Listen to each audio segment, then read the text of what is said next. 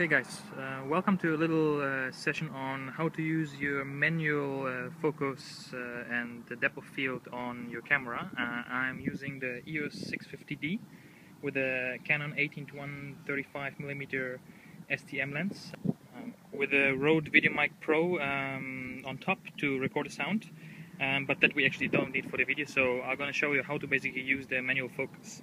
So what do we have to do? Let's go just to the camera a bit closer and I'll show you what to switch on and switch off. As you can see, the first thing you have to do is uh, on your lens to turn off uh, the autofocus, which you have switched over here. So I already did this, and uh, then we're going to go into the menu and I'm going to show you how to use basically the camera uh, to manually focus. So what we're going to try to do is we're going to that little leaf there. Sorry for the shake, I'm recording this with the iPhone. So we're gonna try to focus uh, one time on that uh, little piece of green that is sticking out and the other time on the buildings in the back. So let's switch on the camera. And as you can see, it is now on the buildings in the back. Let's see if we can get this to focus. So it's on the buildings in the back and you have a great function on the EOS 650D um, which is the loop, uh, loop function or basically the increase uh, um, of the picture. So what you do basically you press it once and it's gonna increase it by five times. You're gonna press the second time it's gonna increase it by 10 times.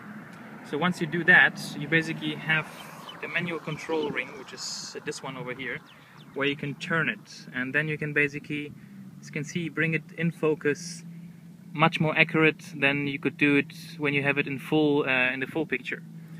Yeah. So uh, now well, just to go back, you press it one more time and then you have the shot basically. So let me record this one as well and uh, then you'll be able to, to see it.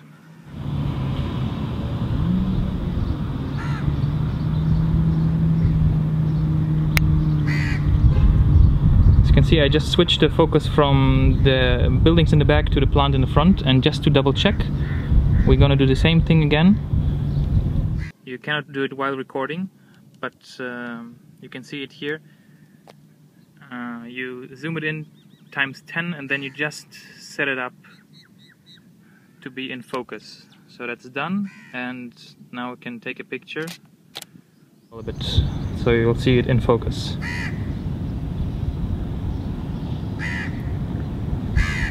Okay, so let's just go back into um, focusing on the house.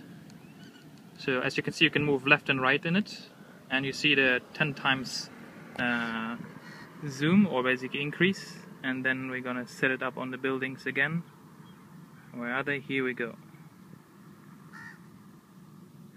Okay, so get out of it and let's take the picture.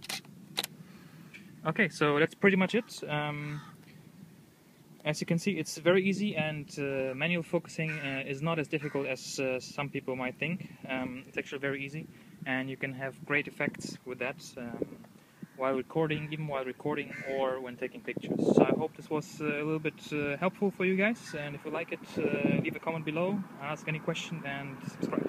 Thank you very much.